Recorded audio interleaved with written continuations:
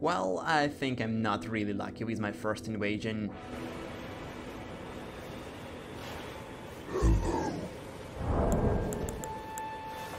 Hey,